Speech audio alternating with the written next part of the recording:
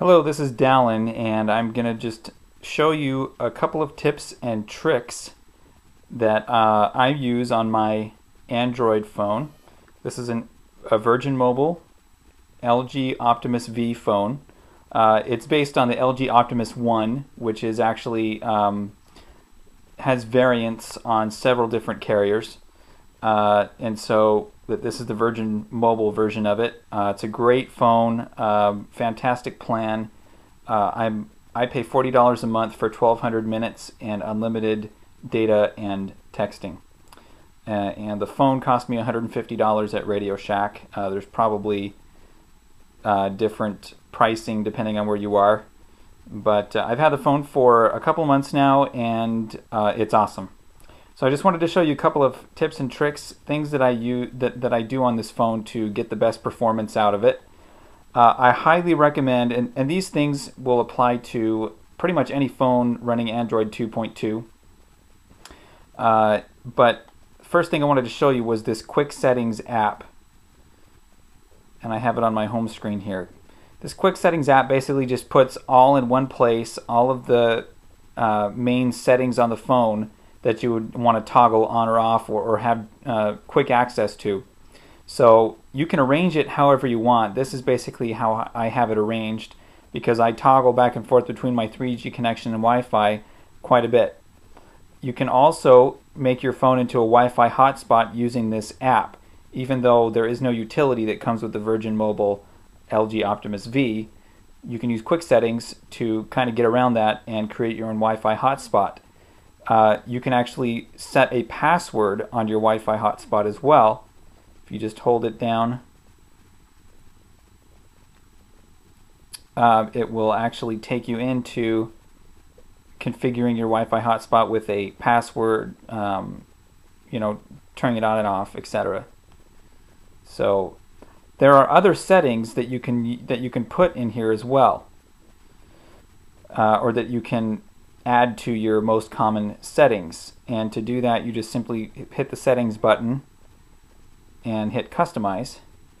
And it will show you all of the possible features that it has. And all you do is simply whatever you want to have access to you just drag it up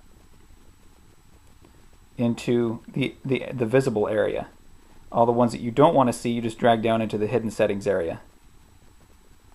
It's that easy so I highly recommend this app. Great app. Once again, uh, gives you access to all the major features that you want to have access to.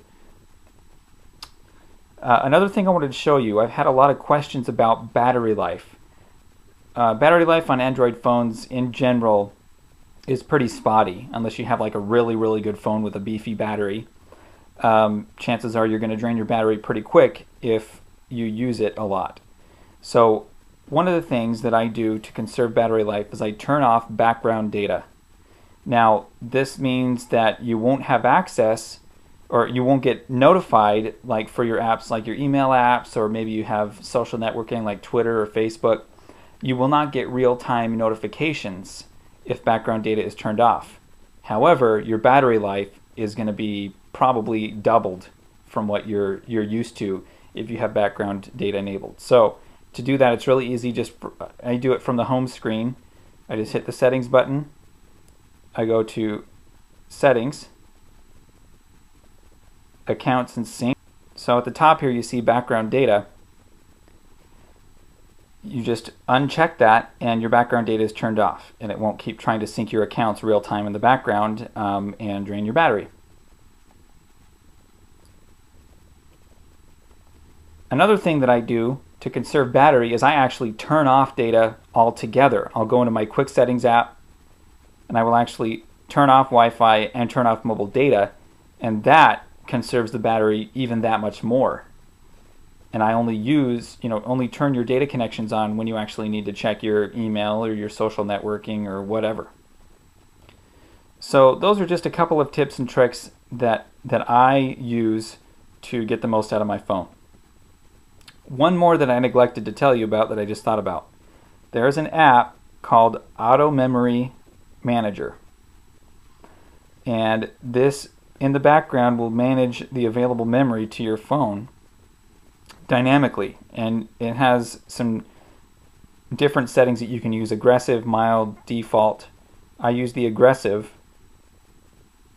and basically you can choose how much memory you allocate to foreground applications, visible applications, secondary server, hidden applications, etc., etc.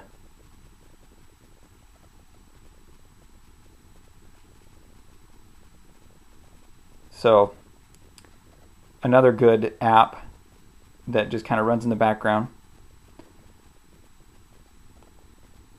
So, if you have any questions about uh, these tips and tricks that I've showed you, feel free to email me, geekloop at gmx.com, and look forward to hearing from you. Later.